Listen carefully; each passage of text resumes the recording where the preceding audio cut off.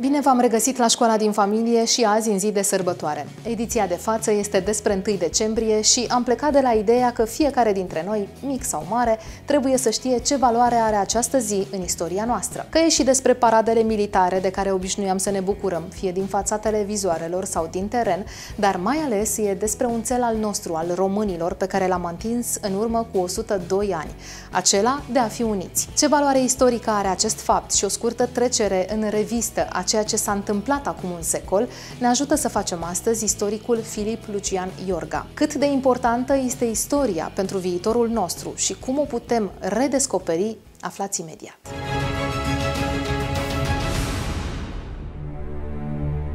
Domnule Filip Iorga, bine ați venit la noi în emisiune. Mulțumesc pentru invitație, bine v-am găsit. Ce înseamnă 1 decembrie? E o sărbătoare și trebuie să o tratăm ca atare. Uneori, sigur, din cauza vremii mai urâcioase pe plaiurile noastre, din cauza uneori a lipsei de informație, poate că nu reușim să sărbătorim uh, suficient de intens.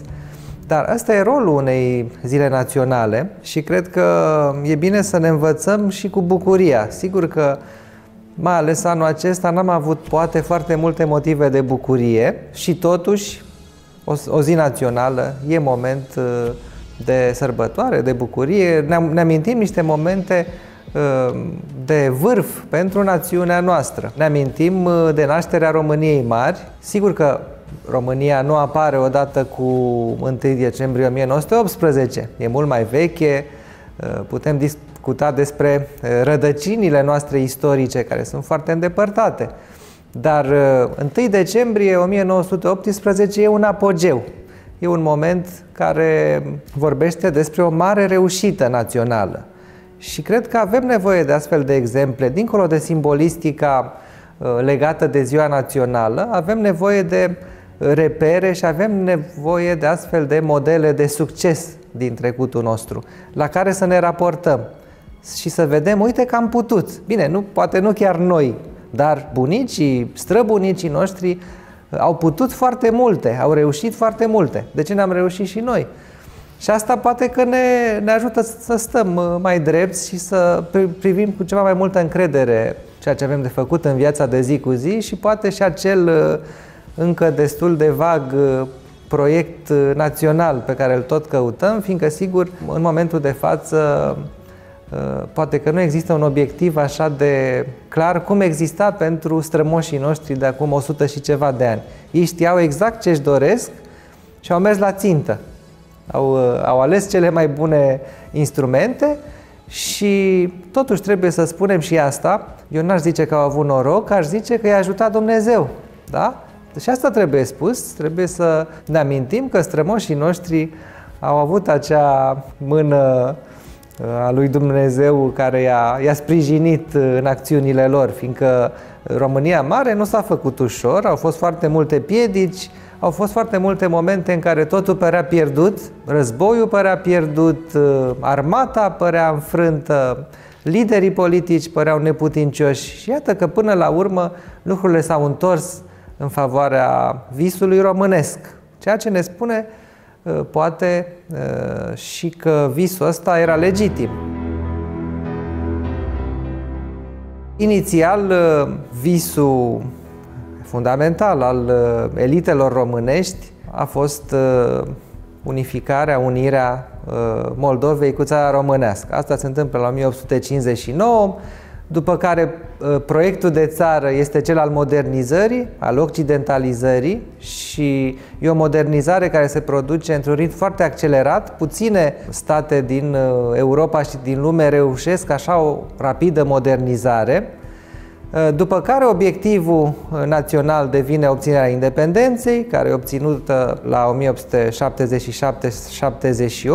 iar visul se îndreaptă către Transilvania elitele românești și uh, populația în general uh, privea către Transilvania ca spre un uh, uh, leagăn al uh, identității românești. Ne amintim că acolo a existat uh, școala ardeleană care ne-a amintit că suntem urmașii Romei. Uh, ardelenilor le datorăm în bună măsură și limba literară românească prin uh, ceea ce au reușit să impună ei în Academia Română și în uh, scrierea limbii și a uh, gramaticii românești. Deci Transilvania era foarte importantă pentru această construcție națională. Pentru Transilvania intră în uh, război România, în primul rând pentru Transilvania, în 1916 și uh, pe parcurs, sigur că și celelalte provincii care aparținuseră altor state, Basarabia, Bucovina, se unesc cu țara, cu țara mamă, cum se spunea. Uh, dar uh, mobilul, ceea ce a mobilizat inițial pe români a fost uh, eliberarea fraților din Transilvania, așa cum și transilvanenii. Sigur că se discută foarte mult, sunt diverse opinii printre istorici legate de dorința transilvanenilor de a se uni cu țara, a existat într-o măsură mai mare sau mai mică, își doreau și ei asta. Mărturile, majoritatea mărturilor totuși ne indică faptul că și ardelenii visau la unirea cu România, da? că știau cine sunt, că aveau o identitate națională bine conturată și că își doreau la rândul lor nașterea României mari, așa cum și basarabenii și bucovinenii și-au dorit-o. Un lucru care merită reținut este că, sigur, dincolo de curajul armatei române, de sângele vărsat pe câmpul de luptă, și a existat și asta, România Mare e în primul rând rezultatul uh, unor uh, dezbateri democratice și unor negocieri uh, diplomatice. În momentul în care aceste provincii care aparținuseră altor state se unesc cu România, o majoritate a populațiilor lor sunt de acord cu decizia asta. Deci nu e o cucerire de către România a Transilvaniei, a Basarabiei, a Bucovinei, nu e o cucerire armată. Armata română nu face decât să asigure buna desfășurare a celor adunări democratice care decid unirea cu România. Și asta e foarte important, mai ales astăzi când uh, ținem la statutul nostru de democrație, de societate deschisă. Cred că felul în care s-a născut uh, atunci România Mare e un exemplu foarte bun. E vorba de niște decizii liber uh, consimțite de niște majorități care au uh, hotărât să, să se alăture și să formeze un stat nou până la urmă, România Mare. Cum s-a ajuns la această mare realizare? Și am citit un articol în care chiar dumneavoastră spuneați că acesta a fost un miracol. De asta spuneam și că trebuie să-i mulțumim lui Dumnezeu pentru el. Să ne amintim puțin ce s-a întâmplat la începutul războiului. Inițial, România și-a păstrat neutralitatea. A fost chiar o bătălie de idei între adepții intrării României în război de partea puterilor Antantei, de partea Marii Britanii, a Franței, a Rusiei, sau de partea puterilor centrale, Germania, Austro-Ungaria, Imperiul Otoman.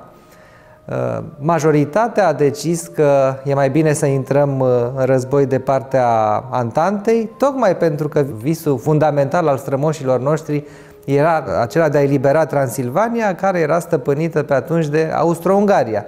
Deci era uh, obligatoriu cumva să intrăm în război de partea Antantei. Uh, adversarii acestei decizii se temeau foarte mult de Rusia. Exista această teamă uh, apropo de o alianță cu Rusia care ar fi însemnat de fapt uh, un pericol uh, în direcția pierderii identității naționale. Da? Era o, o temere mai veche. Însă o majoritate a elitelor politice de atunci și opinia publică a fost favorabilă intrării de, în război de partea Antantei. Și începutul a fost foarte spectaculos, glorios, cu eliberarea unor orașe, unor state din Transilvania, însă foarte repede lucrurile au început să ia o turnură neașteptată, neașteptată și foarte negativă pentru armata română.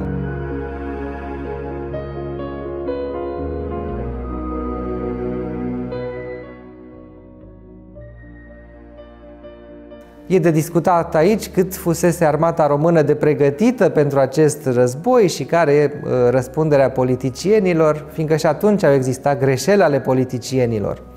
Fapt e că au fost pierdute bătălii și că treptat țara românească cu capitala, cu Bucureștiul, au fost părăsite, familia regală, guvernul și autoritățile, ca și o bună parte a populației, s-au refugiat într-o bucățică de Moldovă. Acolo a bătut inima țării în acești ani grei, iarna lui 1916, 1917. În 1917 avem acele victorii care se datorează bravurii, curajului armatei române, inteligenței unor comandanți militari, cum au fost uh, Prezan uh, și Averescu și Eremia Grigorescu și atâția alții, și în același timp sprijinului acordat de aliații noștri francezi. Ne amintim de Berthelot, care iubea așa de mult România și a fost așa de uh, important în, a, în câștigarea acestor bătălii, importante în primul rând pentru moralul românilor. Însă începutul lui 1918 nu e deloc favorabil României, ne obligă la o pace uh, forțată cumva cu puterile centrale. De altfel, Basarabia uh, se unește cu țara în condițiile unei Românii de fapt înfrânte de puterile centrale și obligate la o pace destul de înrobitoare. Uh, însă Condițiile generale ale războiului ne favorizează. Rolul Statelor Unite, iarăși, care, uh, care au apărut în ecuația asta a războiului și au înclinat balanța. Uh, faptul că puterile centrale au început să-și uh, termine resursele și armate și economice erau din ce în ce mai slăbite și până la urmă, chiar dacă unul dintre aliații noștri inițial, Rusia, dispăruse pe parcurs din cauza Revoluției bolșevice și nu ne mai putusem baza pe ei și asta a fost o grea lovitură pentru uh, România, pentru armata română, până la urmă s-a văzut că resursele economice, resursele militare ale Antante erau mult superioare celor ale puterilor centrale și atunci, iată, România a reușit să iasă din acel impas. Iarăși, un exemplu foarte bun e un uh, model uh, care merită reținut, acela că până și în cele mai grele momente, în cele mai ingrate condiții, trebuie să continui să speri, să crezi în victorie. Și aici un exemplu, uh, un, un model uh, care ilustrează foarte bine această credință este cel al reginei Maria. Știm că ea era născută englezoaică, dar a devenit româncă, a devenit regina României și foarte atașată de cauza românească ea n-a crezut niciodată că Marea Britanie și că România vor pierde acest război. Chiar și în acele momente grele în care toată țara se refugiase la Iași, ea a rămas o uh, figură care a încurajat, care a îmbărbătat, care a vizitat uh, tranșeele și spitalele și care a adus uh, mai departe credința asta în victorie. Dumneavoastră ați scos împreună cu soția dumneavoastră acum 2 ani o carte, Marea Unire pentru cei mici. Am observat că în acea carte ați zugrăvit-o pe Regina Maria, mai ales în natura ei uh, caritabilă. De altfel, cele două personaje pentru că ne adresăm în mare parte copiilor ale uh, momentului 1 decembrie 1918 sunt regele Ferdinand și regina Maria. Ei reprezintă națiunea și de asta și pentru copii, dar și pentru oameni mari sunt uh, figurile care uh, reprezintă în primul rând acest moment. Regina Maria, da, e o uh, E un exemplu de implicare, de, de dăruire în cauza asta națională, atât în timpul războiului când uh, se ocupă de răniți, de militarii bolnavi, de civilii bolnavi, dar și după război, în momentul în care uh, pleacă în acea misiune diplomatică, deci e un fel de emisar, un fel de ambasador uh, neoficial, dar foarte oficial ca regină, un ambasador al României în fața marilor puteri care decid soarta lumii după primul război mondial, după Marele Război.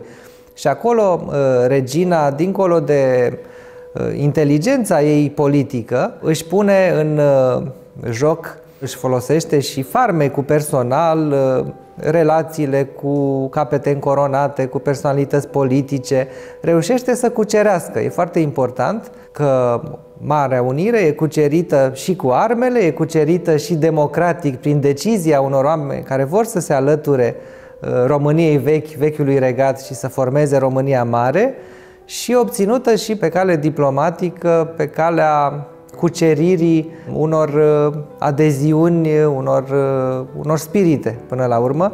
România avea pe atunci foarte mulți prieteni și povestea României a impresionat mulți francezi, mulți englezi, mulți americani. I-am avut prieteni pe aceștia și grație Reginei Maria am reușit să obținem destul de mult, poate nu tot ceea ce și-ar fi dorit Brătianu, de exemplu, la începutul negocierilor de pace, dar am obținut foarte mult. România Mare e una dintre țările care câștigă cel mai mult la masa negocierilor de după Marele Război. Așa că, vedeți, s-a luptat pe foarte multe căi, s-au pus în joc foarte multe strategii și arme pentru a obține acest rezultat uh, fericit. Regele Ferdinand devine regele tuturor românilor un an mai târziu, după 1918, după 1 decembrie, la 29 decembrie 1919. Iar pe plan internațional, actele de unire au fost uh, recunoscute în 1919 uh, în Austria și în 1920 la Trianon. Deci avem un centenar și anul acesta, dacă ne gândim la cei 100 de ani care au trecut de la consfințirea uh, nașterii Marii Uniri, deci de la recunoașterea acestui stat nou de către puterile învingătoare în război. Asta era foarte important. După retragerea de la Iași, care spuneați și mai devreme, armata română a mers practic înfrântă la Iași, cu resursele pe care, mă rog, le mai avea. A fost un moment de refugiu, un moment foarte important pentru toți românii.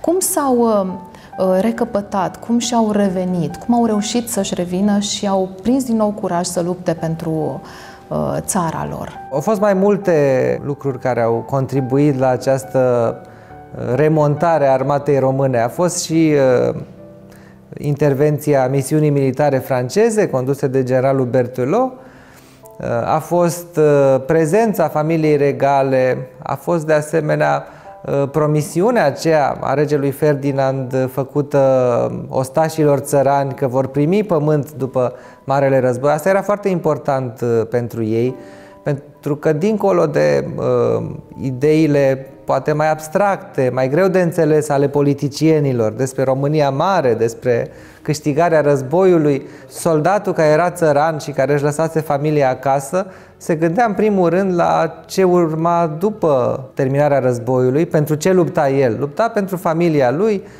poate mai mult decât pentru o idee abstractă. Familia lui era națiunea pentru uh, țăranul soldat și atunci pentru el era foarte important să știe că va primi pământ, că familia lui va avea o, o șansă în plus la un trai mai bun după război. Deci asta a contribuit. Bineînțeles, victoriile din vara lui 1917 au avut efectul ăsta de a uh, remonta moralul armatei. Nu trebuie uitat că alături de români atunci au fost în uh, luptă și armatele rusești uh, încă nebolșevizate, încă erau acolo. Apoi, sigur că a urmat uh, iarăși o pauză pentru armata română, pentru că am fost obligați la acea pace separată cu puterile centrale. Dar uh, speranța renăscuse deja și soldații văzuseră că putuseră câștiga niște bătălii. Asta e foarte important într-un război, să vezi că poți și câștiga după campania dezastruoasă din 1916. Rolul armatei române a fost în primul rând nu de a cuceri niște provincii, ci de a asigura uh, liniștea, mai ales în Basarabia erau uh, exista acel pericol bolșevic, revoltele cuprinseseră armata rusă și armata română a căutat să, uh, să asigure liniștea și siguranța celor care urmau să decidă ce se va întâmpla cu Basarabia. Rolul ăsta de pacificator în regiune l-a avut armata română, dacă ne gândim și la campania din 1919 împotriva regimului bolșevic uh, de la Budapesta. Să nu uităm că, deși de multe ori uh, poate sunt accentuate acele asperități uh, dintre români și maghiari, faptul că s-au luptat în fond pentru Transilvania și România a câștigat la 1918. Totuși nu trebuie uitat că uh, foarte mulți maghiari au așteptat pe soldații români ca pe niște liberatori în momentul în care în 1919 armata română alungă de la putere regimul comunist de la Budapesta. Și în momentul ăsta această contribuție a armatei române la stăvilirea comunismului în Europa a fost foarte bine privit uh, și de către aliații noștri uh, francezi, englezi, americani, care sigur fuseseră puțin dezamăgiți de uh, faptul că România semnase o pace separată cu puterile centrale la un moment dat în 1918, da? Deci, cumva am spălat obrazul după acea pace separată prin contribuția asta la stabilirea comunismului în Europa. Cu ce preț a realizat Marea Unire? În plan omenesc, în plan economic, pentru noi românii? Au fost pierderi foarte mari. România a fost una dintre țările care a pierdut uh, cei mai mulți uh, militari, dar și civili, S-a murit foarte mult, s-a suferit foarte mult de foame, de frig, din cauza bolilor. Fiecare familie a, a pierdut uh, persoane dragi, fiecare comunitate a avut după aceea, după încheierea Marelui Război, de îngrijit uh, văduve de război, orfani de război. De altfel, uh, după primul război mondial apare acea atenție, acea grijă către uh, memoria uh, eroilor și a celor căzuți în luptă. Uh, apar monumente ale eroilor peste tot în țară și chiar astăzi le putem vedea, poate ar trebui pe unele dintre ele să, să le reparăm, să le restaurăm, uh, mai ales în mediul rural sunt încă monumente care au au nevoie de ajutor. E o atenție specială acordată și orfanilor de război și văduvelor. Sigur că sunt răni uh, care se reflectă și în literatura epocii. Cine vrea să înțeleagă, de exemplu, cum uh, uh, și copiii, dar ceva mai mari, pot citi Întunecare, să spunem, de Cezar Petrescu, care e un roman care îți arată și greutățile războiului, dar și greutățile vieții de după război, ce a însemnat uh, viața pentru cei care trecuseră prin război și rămăseseră cu niște traume, cu niște uh, răni uh, fizice sau sufletești. N-a fost ușor pentru cei care au luptat în acel război, dar uh, rezultatul a fost unul foarte fericit pentru uh, comunitate în ansamblu ei. Sigur că n-a fost ușoară această construcție a României mari și ea nu s-a încheiat odată cu 1918. Asta iarăși trebuie uh, accentuat. Faptul că unificarea instituțiilor erau lucruri foarte diferite de exemplu, un stat din Basarabia era foarte diferit de un oraș din Transilvania. Erau aproape lumi diferite. Însă, s-a reușit uh, oarecare omogenizare a instituțiilor, a normelor, a legilor și România Mare a fost uh, un stat viabil, un stat care încet, încet uh, s-a refăcut după război și a început să, să crească din punct de vedere economic, să-și consolideze instituțiile. Asta a dus și la o înflorire culturală în, în perioada interbelică. Sigur că a fost o perioadă foarte scurtă. România mare, de fapt, trăiește 20 și ceva de ani. O, o perioadă foarte scurtă. Da.